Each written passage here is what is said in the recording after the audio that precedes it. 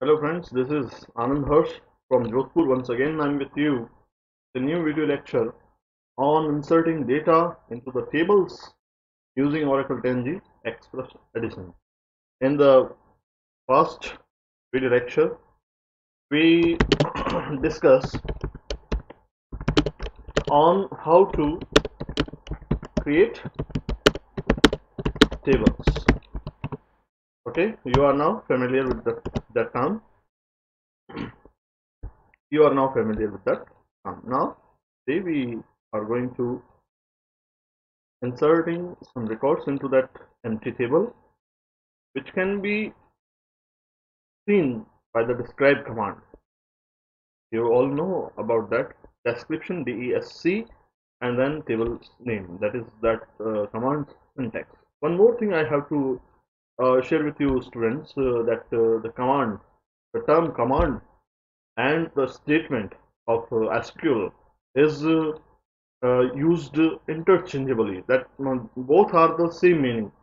somewhere it is used command and somewhere it is used as statement. So if you found SQL statements and if you found some SQL commands uh, both are the same. Okay now we are moving towards inserting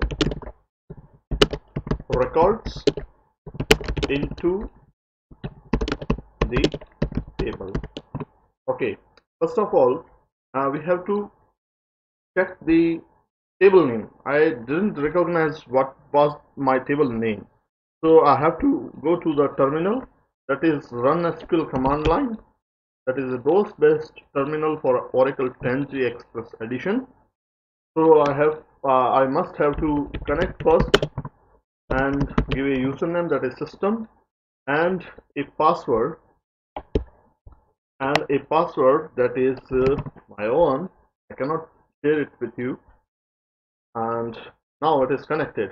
Now I forgot the table yesterday or first in that lecture I have made. So what to do uh, there is a command called select star from tab.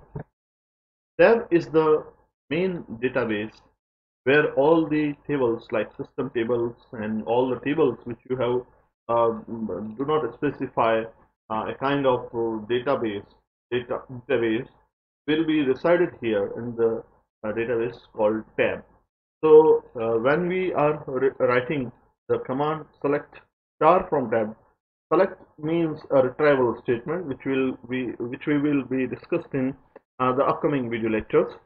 Star means all records from uh, a table name tab. So it is a, a system table uh, that is uh, having all the table all the tables uh, including the system tables in the central database. So we are now clicking the enter button. So these are all the tables which we have already created. So I got the name that is new table I have created. So uh, first of all uh, describe the table's uh, schema so that we will insert accurate data into that uh, prescribed fields. Okay. So the table name is new table so there are four fields. We uh, declare roll number as a number two, name, age, and city. Varchar two, number two, and Varchar two and size. Okay. So uh, now uh, we first discuss the syntax of this inserting records. So, uh, there are two syntax. We only consider the first syntax here and in the upcoming video lectures, we will discuss the uh, second one. The first syntax is insert into keyword table name table name and then values then column 1 value then column 2 value and so on up to column n values. Okay? So this is the simple way to inserting record into a table.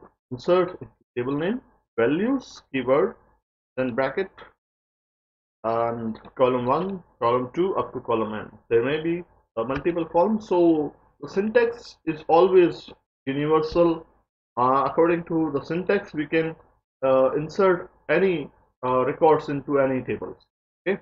So uh, we are uh, creating the SQL statement or command. So insert into our table name is new table values keyword then bracket start no spaces there. Column one uh, value that is roll number that can be one. Column two is uh, I think name age and city name. So uh, the string value or character value will be always inserted in, in single quotation marks. So I am I am giving Avinash the name. So it is uh, satisfy the size. Uh, that is Varchar 2 and 10 size. Avinash have 1 2 3 4 5 6 and 7 characters. So it is satisfying that uh, uh, the table schema. So Avinash is the correct uh, value. All the columns are column values are separated by the comma separator. Separator operator or comma operator. Okay? So first value roll number is 1 name is uh, and the age is uh, 27 then uh, the city will be uh, Mumbai. Okay. So uh, the statement will be ended with a semicolon. Okay. You are getting me? Okay. Now we are moving towards the terminal. We are putting this command here. So i'm making possible to see you can see this uh, select. Oh sorry insert into table name is new table then values keyword. Value and values has some has some difference. So you must enter the keyword values. And that is one roll number. Name is Avinash.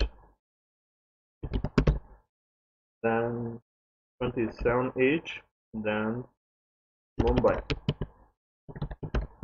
okay so now we are pressing the enter and message arise that one row deleted okay so now guys we are familiar with the term inserting record into the tables using Oracle 10g Express Edition okay now uh, the next uh, step is to retrieve the data inserted into our table.